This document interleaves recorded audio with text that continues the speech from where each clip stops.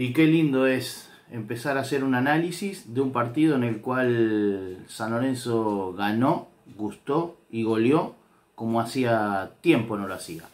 Eh, un partido que, que como habíamos dicho en la previa podía ser este, interesante y, y muy favorable para las posiciones de Ramírez y Piatti. ¿Por qué? Porque jugaban en un 2 contra 1 contra Indacochea. Eh, Aldo intentó hacer una línea de 5 para protegerse y esa protección en zona defensiva liberó la zona media donde San Lorenzo hizo uso y abuso del poder de, del dominio de la pelota, eh, pero también generando juego, algo que venía escaseando, generando muchísimas situaciones de gol, eh, protagonista de principio a final.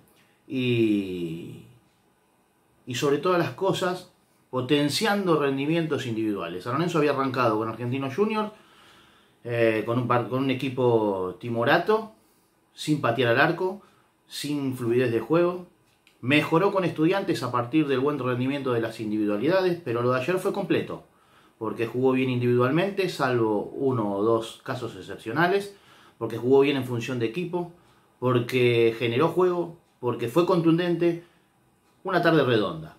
Si nos ponemos a hilar finito, como ya les dije, la posición de Ramírez y de Piatti fue fundamental para que San Lorenzo empiece a tener juego. El juego a un toque de Piatti fue determinante, porque más allá de esa jugada que hizo por la izquierda que enganchó y pateó al arco, hubo muchas veces en la que Piatti recibía la pelota y en lugar de tenerla y correr con la pelota, la devolvía, la tocaba, jugaba un toque y se mostraba nuevamente. Y eso hace que el rival no tenga referencia. Cuando la pelota la tiene uno siempre y la tiene mucho tiempo, al rival le da referencia para ir a marcarlo o para ir a pegarle. Cuando uno empieza a tocar, la pelota empieza a correr de un lado al otro, al rival se le hace dificilísimo. Puntos para Soso. Gatoni. Si bien lo conocíamos e intuíamos por aquellos que van a ver los partidos de tercera que era un gran proyecto, se decidió a ponerlo. Ya sé, Está jugando porque Colochini no estaba, si no quizás jugaba Colochini. Gracias a Dios Colochini no está, porque el rendimiento de Colochini ha sido muy malo en el último tiempo. Y el pibe, con una prestancia y una solvencia no tan habitual para un debutante, no solo que es fuerte en la marca, no solo que tiene buen pase, sino que va al área rival y hace goles, cabecea. Sinceramente un grato proyecto de San Lorenzo que es toda del entrenador porque nadie se había jugado a ponerla. Lo mismo que lo de Díaz, porque a partir de la salida de Ángel nadie sabía quién iba a jugar. Se especulaba con Herrera, se especulaba con que si estaba bien Di Santo iba a jugar Di Santo. Se la jugó por un pibe del club. Un pibe del club que tuvo muchas lesiones, que inclusive debutó, creo, si no me equivoco, antes que Gaich y en el que todos teníamos un montón de esperanza por su forma de jugar, porque San Lorenzo nunca tuvo, después de Acosta, un 9 que aguantara la pelota y que se fajara con los centrales como hizo este chico. Pero lo de ayer fue impresionante no solo porque aguanta de espalda, sino porque gira con la pelota. Es difícil sacársela. Y bueno, y el gol encima hace que esa producción se potencie para bien. Eh, ni hablar, otro punto para el entrenador, ni hablar de la inclusión de Peruzzi. Cuando todos imaginaban que iba a ser Salazar el titular porque venía este, jugando con, o venía con continuidad y Peruzzi no, Peruzzi fue muy importante en el primer tiempo. Sus diagonales fueron eh, destructivas para el sistema que empleó Aldo Civi del uno contra uno, porque en donde limpiaba su marca se iba derecho contra los centrales y eso facilitó paredes internas que si bien no terminaron en gol, generaron algunos tiros libres. Lo de Peralta Bauer ya no tiene mm, sentido volver a numerarlo. En la primera vez creo que un chico que debuta y en tres partidos hace dos goles y con tres rendimientos muy parejos de 6 a 8 puntos. Eh, sinceramente no lo tenía Peralta Bauer y me acaba de... no me acaba, me está sorprendiendo día a día porque, porque no se achica, porque es goleador, porque es combativo, porque juega en función de equipo. Un delantero muy, pero muy completo. Si nos ponemos a hilar fino, como dije, para lo bueno, tenemos que hilar fino para lo malo. Muy pocas cosas subieron malas. A mí lo que más me preocupó fue el desconcierto después del gol de Aldo Civi. Fueron 7, 8, 10 minutos donde San Lorenzo eh, se choqueó por el gol perdió los rebotes, no tenía tanta fluidez de juego, quedaba muy cortado, muy alargado y a partir de ahí Aldo Civi tuvo una que otra aproximación sin peligro, pero San Lorenzo ya no era el dueño de la pelota. ¿Y por qué me preocupa? Porque a futuro, cuando te hagan un gol, no siempre vas a estar ganando 4 a 0. Entonces, no se puede tener ese desconcierto eh, contra otro resultado y contra otro rival. Eh, los puntos bajos del equipo, para mí, lo de Monetti está más que claro. Hoy veo en Twitter mucha gente que, que no le gusta Monetti y está bien, porque eh, cada uno tiene su gusto futbolístico, pero hoy, y, y muchos hay que no lo quieren porque son hinchas de Torrico. Y está bien también, porque Torrico nos dio la gloria eterna.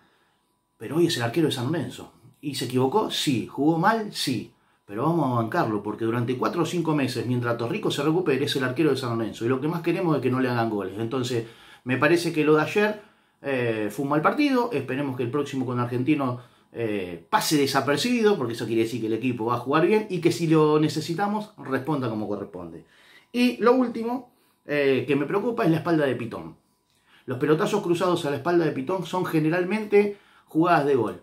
Entendiendo que Pitón hace lo que el libro o el manual del marcador de punta marca que es cerrar al primer palo porque lo que hay que defender es el palo, teniendo un central con el juego aéreo que tiene Gatoni, eh, perdón, eh, Donati, que todo lo que cae en el área lo cabecea, no te cerres tanto, porque tu espalda es un quilombo, porque San Lorenzo juega sin volante externo y todo el que llega por ahí llega con posibilidades de gol, entonces, Bruno, no te cerres tanto, porque el problema está ahí, en esos pelotazos cruzados. Un día va a llegar uno con más jerarquía que los que hemos jugado hasta ahora y nos va a romper el arco. Entonces, me parece que ese es el punto a, a corregir.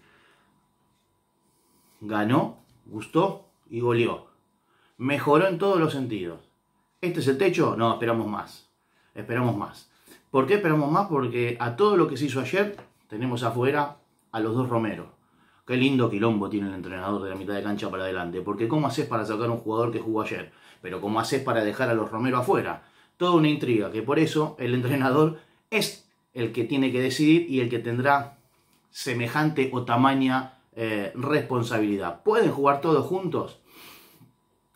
Es difícil, hay que trabajarlo, porque para que jueguen todos hay que trabajarlo. Pero indudablemente siempre alguno va a quedar afuera y siempre va a crear cómo va a sacar a este, cómo va a sacar al otro, por qué puso a este. Lo bueno, y después de mucho tiempo, es que San Lorenzo tiene muchas variantes en ataque. Hacía mucho que si no jugaba uno no nos preocupábamos. ¿Por qué? Porque ayer no jugaron los Romero, que supuestamente son el as de espada y el as de basto, y, y los chicos que entraron la rompieron. Entonces, ¿hay que tomarlo como referencia porque era un rival más débil? Sí y no. Lo importante es que San Lorenzo tiene recambio. Por primera vez en mucho tiempo tiene recambio de jerarquía. Y eso es lo que hace a que San Lorenzo sea un buen equipo. Ya si bien no hay promedios del descenso, en seis fechas nos hubiésemos olvidado. ¿Por qué? Porque San Lorenzo de a poquito va creciendo, va consiguiendo resultados y se va afianzando como equipo. Falta mucho, pero vamos bien. Abrazo grande.